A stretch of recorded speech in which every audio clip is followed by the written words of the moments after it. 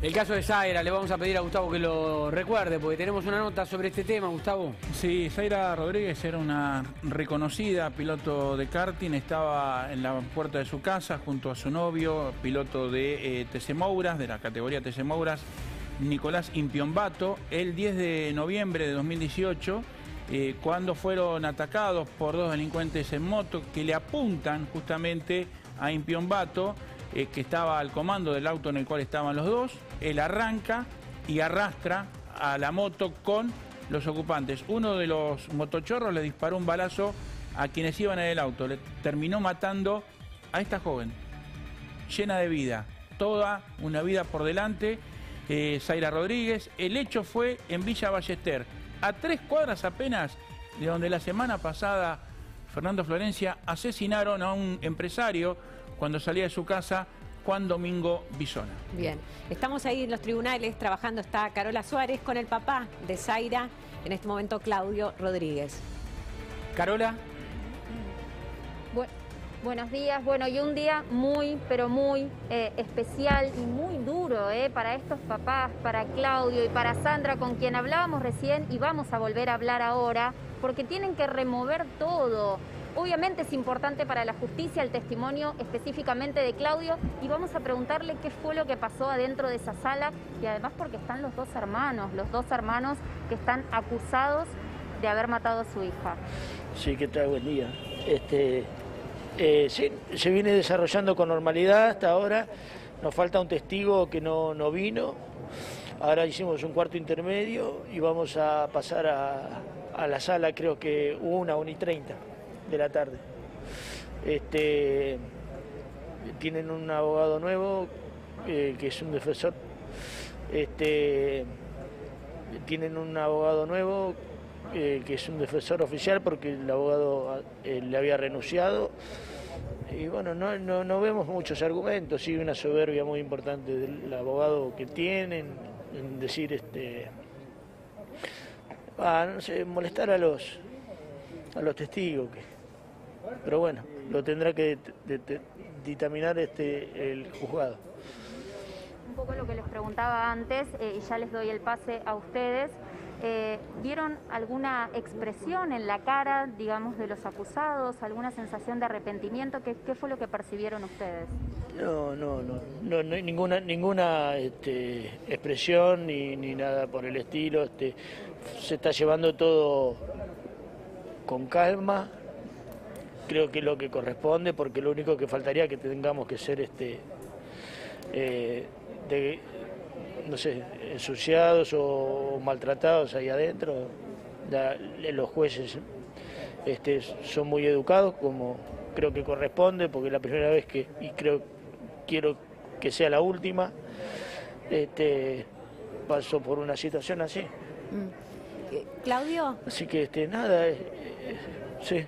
Eh, esto fue en 2018, estamos tres años después. ¿Cómo transcurrieron estos años, tres años, y qué se siente finalmente estar sentado, escuchando o esperando el juicio por el asesinato de tu hija? Eh, mira, era el, cumpleaños de mi mamá, era ese día, y Segrita había ido a la casa de, de Sandra, y le había ido a comer los animalitos porque ella no estaba y cuando llegó a casa pararon este, dos en una moto y le quisieron abrir la puerta a Nicolás, Nicolás la tenía trabada porque estaba el auto en marcha. Y bueno, arrancó, le cruzaron la moto, se la llevó a la rastra. Y este, bueno, después me llamó y fuimos a la salita, lo llevé a la sala, pero no... Mi hijita ya no me hablaba. Y bueno, este, ahí este, arrancó la lucha porque no, ya no, nos reunimos con un montón de familiares, de víctimas, que hoy nos están acompañando acá.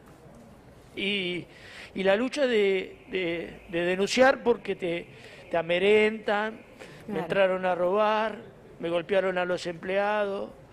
Este, el que entró a robar está abrazado con el que está acusado acá de matar a Zairita.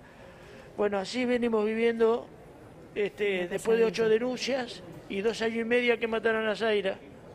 ¿Y, ¿viste? y bueno, y acá estamos, lo vamos a seguir poniendo el pecho porque hay mucha gente que no, no tiene este eh, no sé si recursos, eh, lugar en la, en la prensa, o no sé cómo llamarlo, pero hay casos, casos que no se, no se enteran, sí. Claudio, eh, te escucho. Los que están acusados de matar a, tu hija son los hermanos Murray, que son conocidos delincuentes de la zona. después de que ellos los detienen, que... una, aclaración, una aclaración, una aclaración que hizo el abogado que nosotros recién hoy nos enteramos que dice que no son Murray, son Y que es un apellido chino y se puso en esa explicación que a nosotros la verdad que ni nos interesa. Por eso, son, pero son ellos, porque además creo que uno confesó que lo entregó el padre a uno de ellos. Eh, pero lo, que te quería preguntar es... Lo que dice, sí. Eh, no lo entregó el padre. No, lo entregó el padre. Por eso. Pero, pero son unos delincuentes de ahí del barrio, que, lo, que, que aparte la policía los conocía.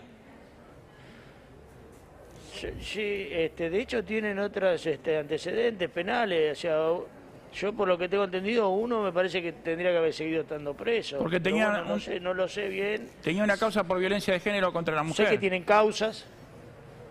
No, pero hay otros también por otras cosas. Pero lo que te quería preguntar es esto. Hay otro por otras cosas, sí. Que, que te escuché. Eh, vos decís que después de que a ellos los detienen, a los hermanos Murray, los detienen a Guillermo y a Gastón, los detienen, a Pablo y a Gastón, los detienen, eh, ¿te fueron a robar a vos? ¿Y a tus empleados? Al año. ¿Al año te fueron a robar? Sí, entraron al galpón. ¿Entraron a tu galpón? Yo estoy a una cuadra y media del barrio, sí. y, y, uno de los que... Entraron al galpón, tres, tres con Sí. ¿Y te apuntaron? ¿Apuntaron a tus empleados? Sí, a la empleada le pegaron un culatazo o un fierrazo en la cabeza, o sea, con el, con el caño. Sí, pero no nos tenemos que olvidar que lo que nosotros decimos, ¿por qué tienen armas? Eh, ¿por qué? Porque yo digo que es un arma el teléfono ahí adentro. ¿Por qué ellos adentro de la cárcel tienen teléfono?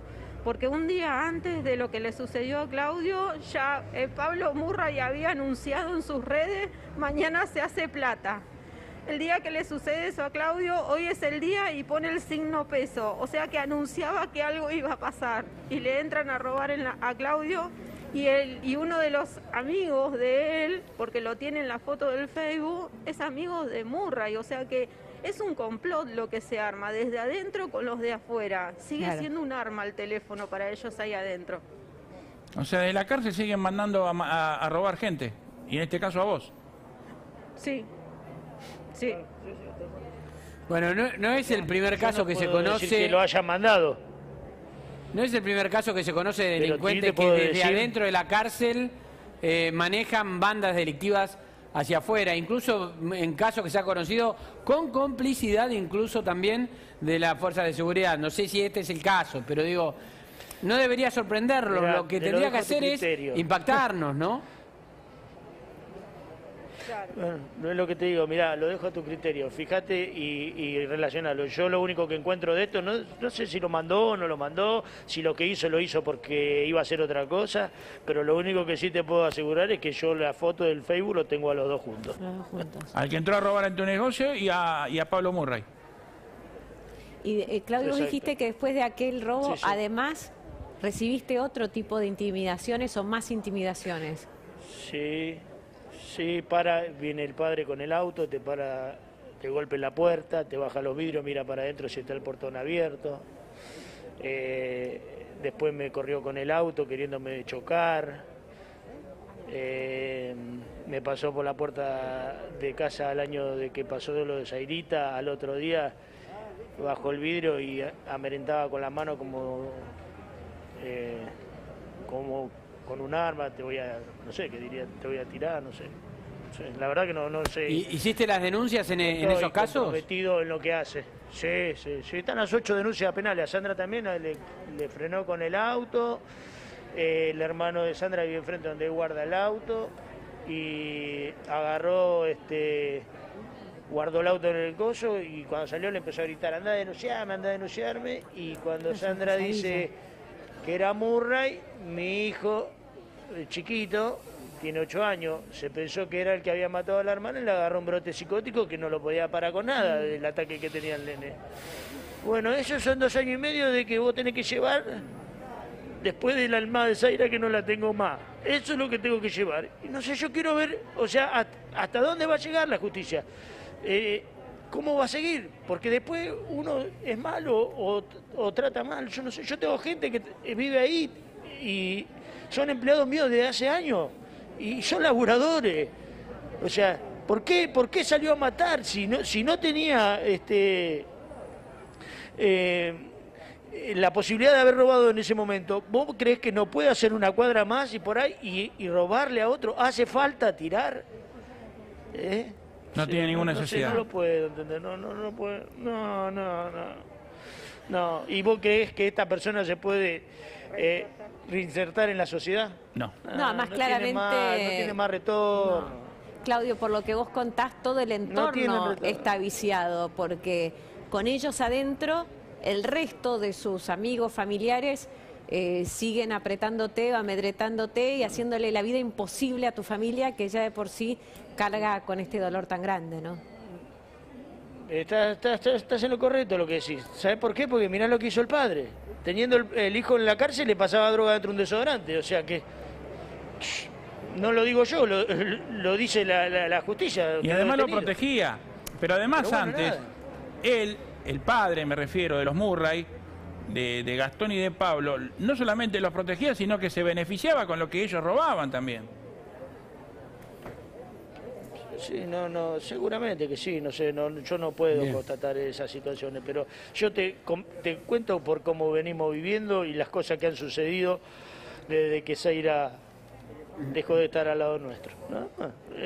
yo no, no, no miento, yo no, no, no tengo que ocultar nada y lo que digo es lo que me pasó y lo que vivimos el día a día como, no, ojo, no me pasa a mí, le pasa a un montón de familiares de víctimas que están acá, o sea, también, o sea, le van a merentar, le, eh, tiran tiro, eh, eh, los, chorros que quedaron afuera le tiran tiro, el caso de Manuela, la mamá, el otro día a la puerta del negocio, le mataron el hijo y, y, van y en la puerta de la casa le tiran tiro hacia arriba, o sea, no sé, o sea, ¿qué, ¿qué es lo que tenés que hacer? O sea, ¿te tenés que ir? No, nos vamos a ir. Cada vez vamos a hacer más, pero no nos vamos a ir, ¿eh? No nos vamos a ir. Sí, o sea, eh, solo el que lo pasa sabe lo que siente. Te lo puedo asegurar. Cada historia, cada historia es tremenda, lo que pasa que puesto así en perspectiva todo junto es, es muy fuerte, ¿no? porque sigue ocurriendo además.